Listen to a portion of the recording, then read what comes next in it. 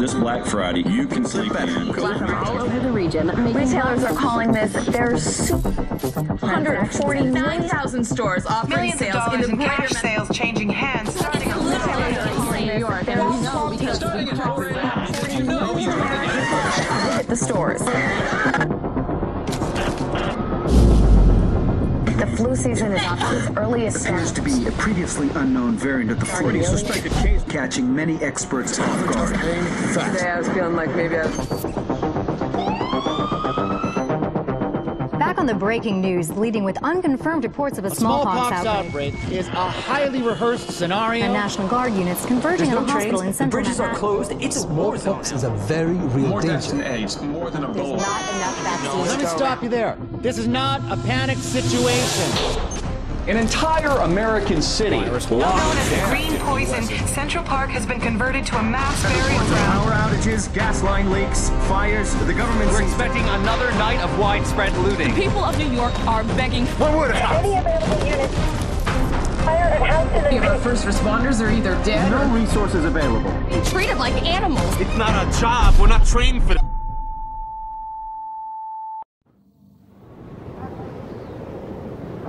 When we were activated, we knew the situation was bad.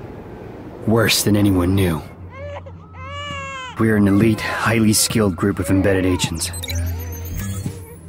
They only call us when everything else has failed.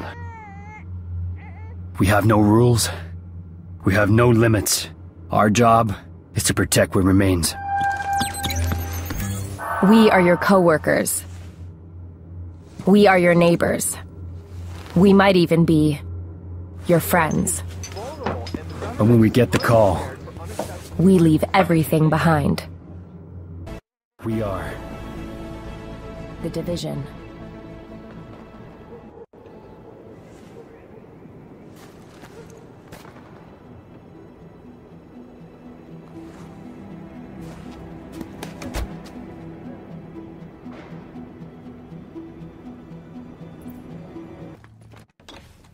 Losing this whole neighborhood. Rioters are moving through, in force, headed this way.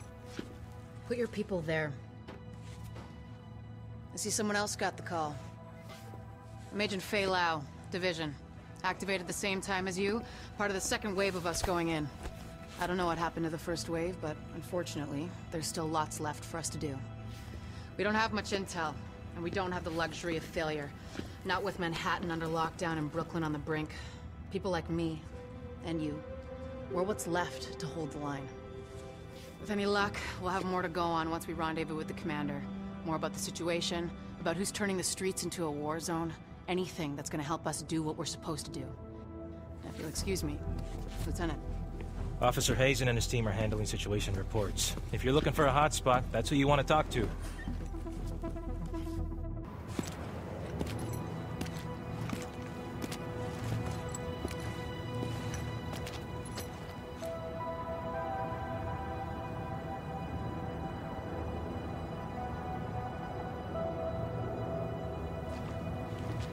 Over there. There's a bar behind that building. Best whiskey sours in Manhattan. If we take this city back, I'll buy you a drink. Sorry. I mean, when we take it back. Ah, here it comes.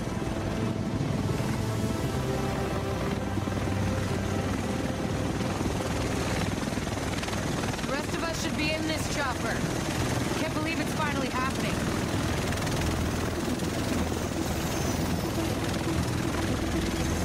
Do this!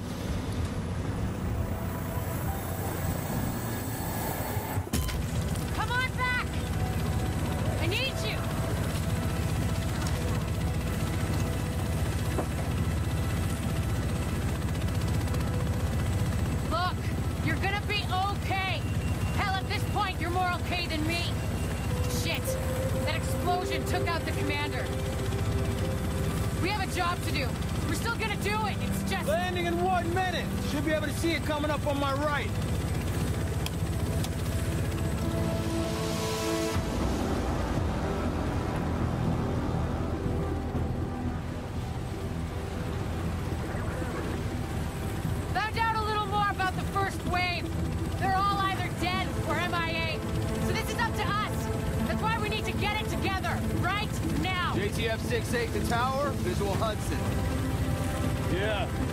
Two agents on board.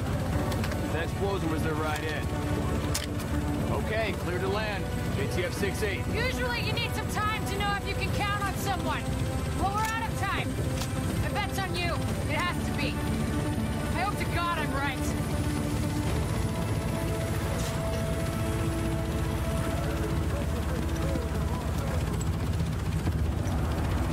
Welcome to Hudson Piers. I'm not sure what you're looking to get out of this. Everything behind this gate is a goddamn war zone. So who's in command here? Captain Benitez was in charge. He was leading ops in the post office, but we lost contact when he left base this morning. If he's still radio silent by tomorrow, there's talk of pulling out. No one's pulling out. We're taking this city back. Get whatever gear you need. I'll catch up with you. Good luck out there. Y'all made it.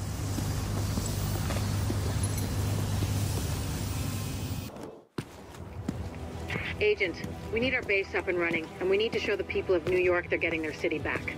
Our base of operations has potential, but right now it's a piece of shit and we've got no one to staff it. To get this place where it needs to be, we need people who know what they're doing. Like doctors. There's a virologist running a field hospital over at Madison Square Garden, but the whole area's gone to shit. With her, we can get our medical facilities online. Without her, the JTF commander, Benitez, is out in the field and he's gone offline. Bring him back. We need him to set up a functional security wing, and it'll do a hell of a lot for morale. We've also got to restore basic services. We need power and the intel the grid can give us. They had a guy working on that, but it sounds like he ran into trouble patching us in. Without him, it's lights out.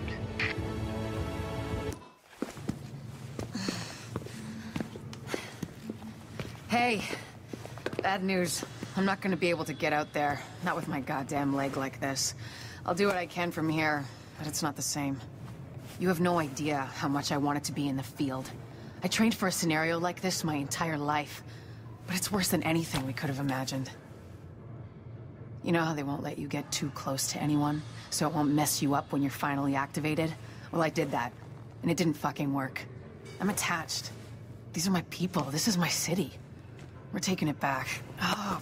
Look, you need to... Yeah, okay. Okay. They're counting on us. Let's not let them down.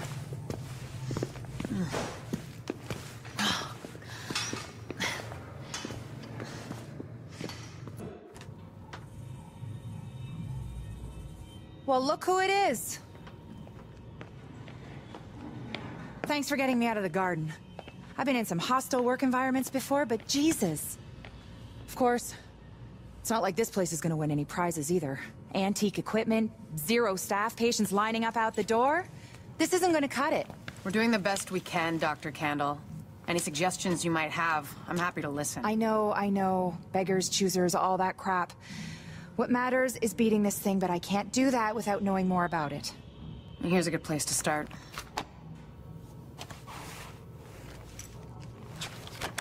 Sarah is pretty sure Dr. Gordon Amherst had something to do with the outbreak.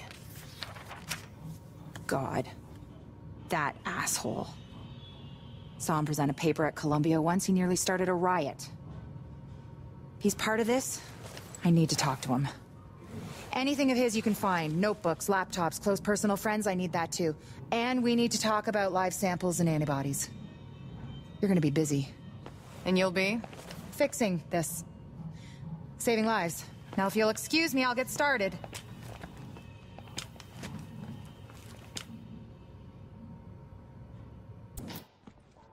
One cut.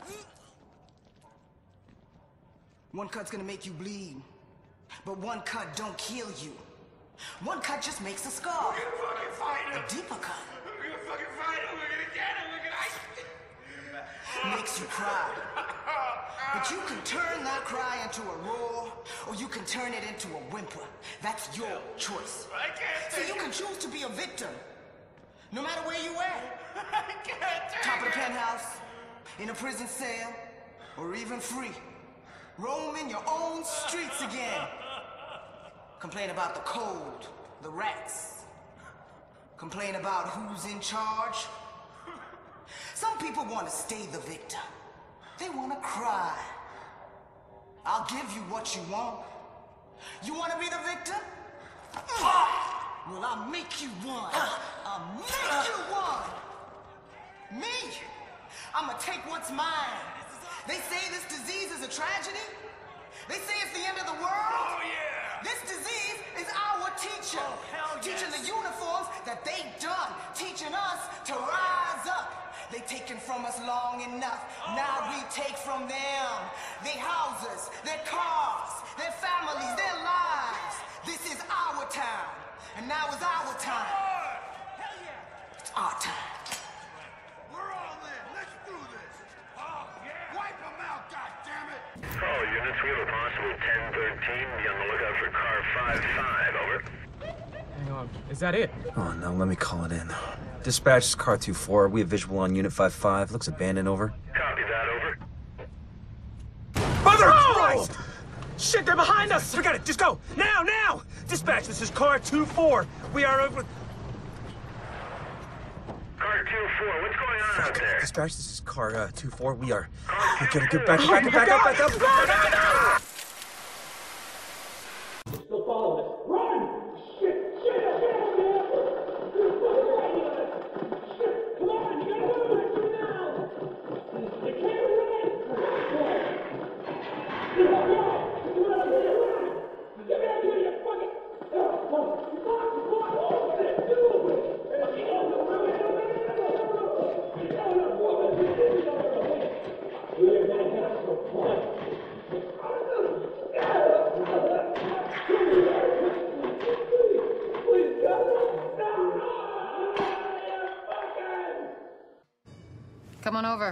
Captain Benitez even found some fresh coffee. Uh, I just happened to walk by what's left of Kerman's. So what we're responsible for is Midtown to Lower Manhattan, mainly because nobody can get off of this island right now, including us. Biggest problem we have is manpower, or lack thereof. Right now we got criminal elements occupying and controlling most of these neighborhoods. Rikers, cleaners, street gangs. Yeah, I don't have enough people to secure a block, much less maintain order and safety, so... Basically, these assholes are running around taking whatever they want and killing whoever they want because we got nobody to stop them. Which means we get the task of cleaning up these neighborhoods, so we can at least get food and medical aid to the residents. I don't know. I mean, an area this size, this many bad guys, I don't think you people can handle it alone. I mean, no offense. I just don't like the idea of throwing you to the wolves. Captain, we are the wolves. Right. Well, then maybe you can convince the division to send more of your guys. For the time being, what you see is what you get. I can't believe I'm begging the feds to take over my city. Any intel we receive, you'll be the first to know. Good luck. You'll need it.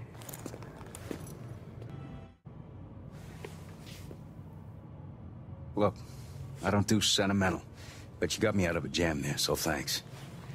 I know you want more from me than just warm fuzzies for saving my sorry ass. Like getting this shithole up to par. Government standard, I see. Nice to see they're still keeping the bar low enough that even roaches can walk right over it. You want quality? You go private. That's what I learned in Basra. Oh, yeah. You can't just live on farts and good intentions. Power, water, all the bells and whistles. Not that you're the first one to try it. I hear a bunch of you people went missing when the shit hit the fan. Got some theories about that myself. My point is, when you're out there hooking up the city, poke around a bit, see what you can find out. Maybe the virus got him. Maybe the brutes got him. Maybe the city opened up its rotten core and swallowed him whole. I'd believe that. It's happened before. Fucking city got my wife. Miracle I'm still here, really. You know, they say a pessimist is a disillusioned romantic. Well, whoever said that's a fucking asshole. Go on. See what you can find out. I'll let you know which shit to hook up. Careful this fucking city doesn't eat you too. Can't believe the bullshit that went down in the dark zone at the end there. I know. We had it. Everything I told them was dead on. They made us pull out anyway. And we left our dead behind. Yeah, we're not supposed to do that. Hang on a second. But we don't leave people behind. We're here to make sure this city doesn't get left behind. But the people we're working with, they're just fine with leaving all of us behind if it's convenient. Look, I don't agree with every decision that's been made, but I am saying it's time to leave them behind. Their model doesn't work anymore. If we're smart, we cut it loose before it drags us down, before it kills us. You're talking treason. I'm talking common sense. Look around. There's nothing left to save. The JTF is trying to save a Manhattan that doesn't exist anymore.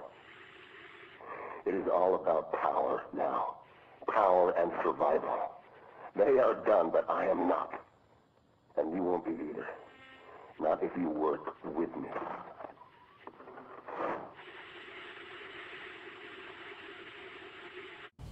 One of the things that makes a virus lethal is adaptation.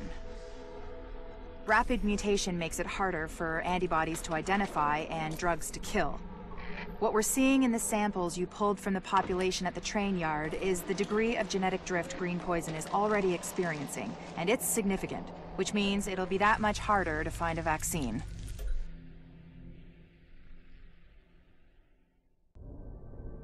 Samples of the original green poison pathogen, the ones we recovered off the currency used as a primary transmission vector, let us take a closer look at the virus's basic genome. What I found was clear evidence the bug had been manufactured. There's genetic material there from a half dozen other pathogens, bolted onto smallpox to make a more efficient killing machine. Hey there, I... Give me a second. Yes? Sorry, Dr. Kandel, but the sample's not producing results that... Did you run them at room temperature? Uh, you said... I said room goddamn temperature. Yeah, I'm pretty sure we're within temperature variances. You know what? I'll do it myself. Just put it down and we'll both pretend this never happened. Hard to believe you can't find good help in the middle of a pandemic, right? Anyway, the good news is we are up and running on what you've brought in so far. Dr. Ellis taking over the hospital wing was a lifesaver. Now I can focus on research. My wife always says I'm better with pathogens than with people. My ex-wife. Funny. Anyways, you just keep doing what you're doing. We are halfway to a blueprint for a vaccine, and with your help, we will get the rest.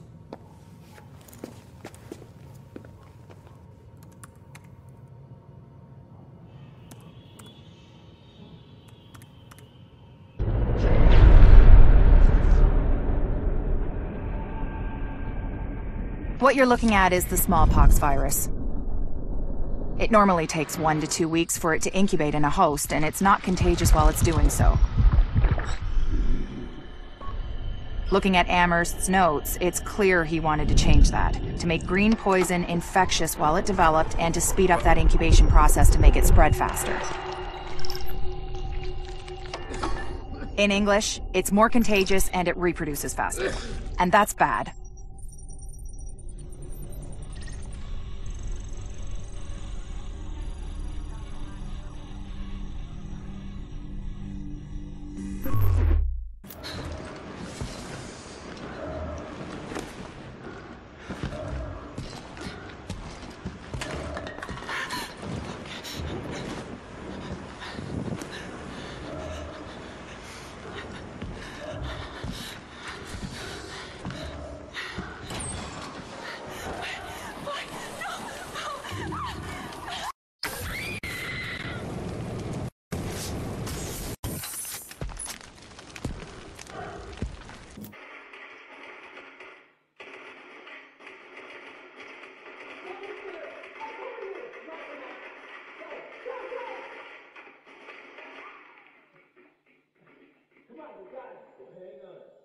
wait for it.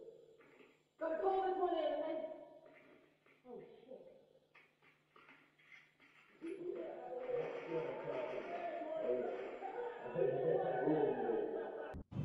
You oh, did real good hooking stuff up. Almost gives a guy like me hope again. well, that's a goddamn miracle. I said almost, Agent Lau. So what you found while you were out there is keeping me up at night. Looks like I ain't paranoid after all. I'm just right. I mean, here you got the smartest, most powerful, most weaponized agents in the world, and still, somebody goes off the rails. Yeah, well, they're not gonna win. No matter what you might believe. Oh, you think I'm not on your side, Agent? You think I'm just a cynic who doesn't give a shit? I'm a goddamn patriot. That's why this shit upsets me. You know why democracy works? It's a balance. We don't just got rights, we got responsibilities, too. People don't realize just how fucking precious this shit is. Jury duty, voting. Oh, we can all get away from you in a second. You don't do your bit. Nobody gets a free lunch. Hell, this country is set up so that nobody can go run things by themselves. Balance of powers. And then some asshole decides to create the division. It breaks everything. All of the power, none of the accountability. It's the opposite of everything this country stands for. Of course it didn't work. So now, what do we got left? Good intentions. Hey, and us. All of us. And I've got a hell of a lot more than good intentions. We're gonna do this. And we're gonna do it the right way. I want that to be true, Agent. I do. But I don't see what makes you different from the rest. I just hope for all our sakes that you are.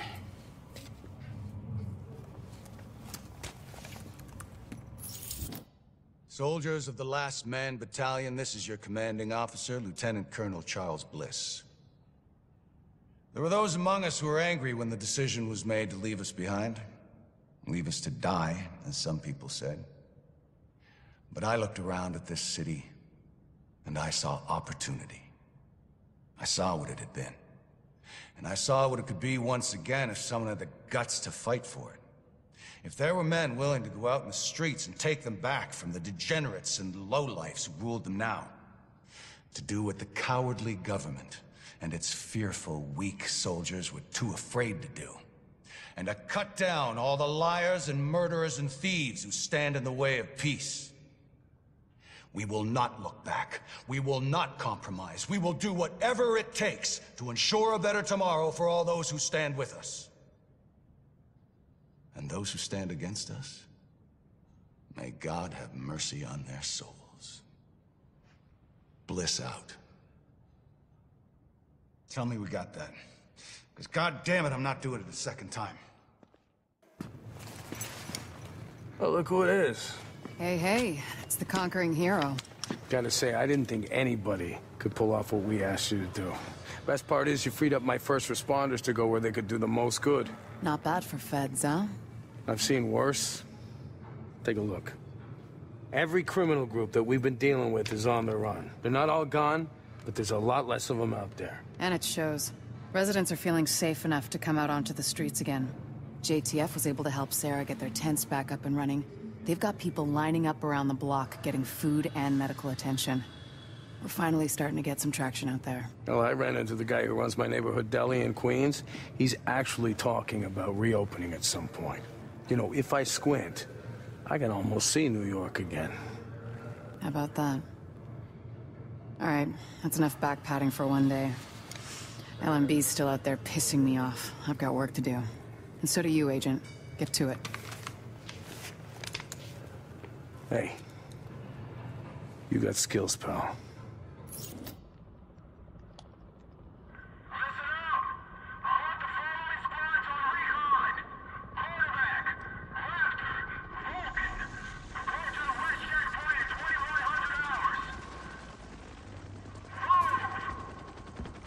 Fuck you, motherfucker! I'm gonna catch your fucking ass! Shit, shit, don't- don't shoot. I want to join up with you guys, I swear. I, I know things. Take him to the captain. See if he sticks. Roger that. On your feet, you. You will regret this. I swear. You, you there! Hey, give me that! We've got confirmation that green poison wasn't bred. It was coded. Specifically, he picked up on his buddy Tchernenko's research about modifying virus genomes in a virtual space, kicked it up a few notches, and fed the result into an industrial protein replicator. What came out the other end was a working virus, one he could keep tweaking to achieve maximum effect. By which I mean, dead people.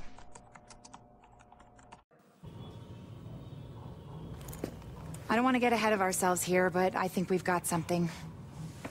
Thanks to you, we have mapped the genetic drift on green poison. Plus, I have ID'd all the aftermarket DNA Amherst bolted onto it. And thanks to those samples you picked up from the survivors, I was able to harvest antibodies against our friendly neighborhood superbug, and that let me lay out a roadmap for a vaccine. Here. Take a look. Normally, I'd take point on the team developing that, but they're a little better equipped to handle it in Ann Arbor. And me? Well, I'm stuck here with you. Which is fine. God knows there's plenty left for me to do here. And with Tchernenko and maybe Ammer still out there, all it would take is one psycho asking the right questions. Tell me we're not gonna see that. Please. Dr. Campbell, you're needed in the recovery ward. Dr. Campbell. Still lots for me to do. Hey. You know we can't survive this again. So please.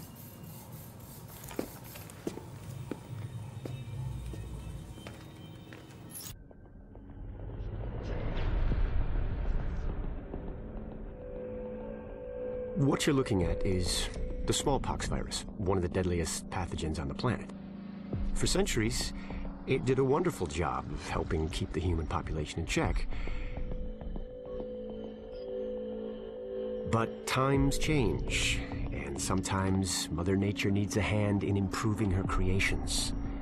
Like, say, speeding them up a little bit, making them contagious when they should be quietly incubating in a host, or making them more lethal.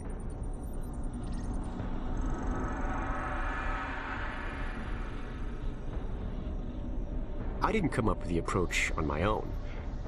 My friend Vitaly is one of the pioneers in the field, and the idea has been around for years. Genome as data. You see, once we digitized DNA, we made it infinitely mutable. We could do a thousand virtual variations in the time it used to take to grow a one lab grade generation of pathogens. And we could pick the best, most lethal combinations and make them real. That's how you make a killer virus, you see. Mix in genetic code from other diseases, and you move the sliders all the way up on lethality and virulence. The goal was a 90% mortality rate. I'm not sure my green poison is going to quite hit that, but honestly, that's just details. As long as most of humanity goes, the Earth stands a fighting chance. Technically, technology is what's killing the planet. But that's not really the case. It's the greed that drives the technology. But a funny thing happened on the way to $100 genome maps and 3D printed plastic toys. Someone figured out those technologies could be repurposed, modified for the greater good. Me. Now, my virus is going to do what nature's always done decide who lives and who dies. And if nature decides I die, then I die. If nothing else, I'll have a lot of company. Natural selection at its finest, helped along by a little unnatural genetic manipulation. It's all data, really. Life's just a method of processing it. The same way I processed the smallpox genome on my laptop. And who's to say that wasn't the plan all along? If, by some miracle, you survive green poison, then nature's decided you deserve to live. The rest of us shouldn't and won't. Godspeed. I'll see you in hell.